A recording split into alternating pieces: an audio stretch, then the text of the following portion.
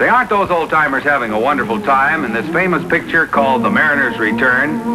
And now look, here is the same tavern recreated by the Heileman folks right from that original painting. Here's where you stop for Heileman's hospitality when you visit the brewery at La Crosse, Wisconsin. It's relaxed here, leisurely, just the way Heileman's makes its old-style lager.